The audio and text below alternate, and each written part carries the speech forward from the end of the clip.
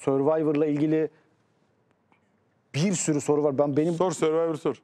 vallahi bunların hangi hangisini sorayım ki sana? Cemal Can'ın kazanması içine sindi mi diye soruyorlar.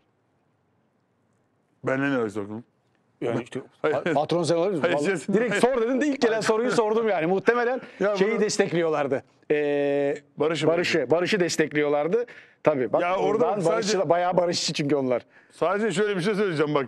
Barışçılar buradan, e, onlar da bizim her zaman Oo tabii bayağı barışçılar onlar. O soru oradan geliyor. Tamam. Şimdi barışçılara buradan birkaç konuda açıklık getireyim de onlara da e, belki kafalarında soru işareti kalıyordur. Barış'ın mesela e, zayıflama videosu niye yok dediler. Tamam mı? Hani çünkü Barış şişmanladı o yüzden yok. Anladın mı? Barış şimdi biz before after yapıyoruz ya.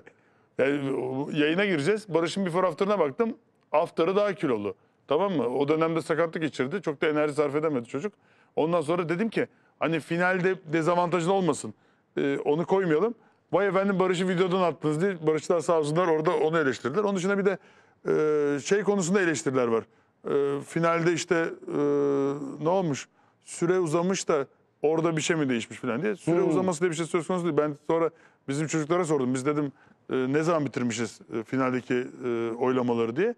Bizim final oylamaları bitiriş saatimiz mesela 12 çeyrek bir sene. Bir sene 12'yi 10 geçe. Bir sene 12'yi 20 geçe.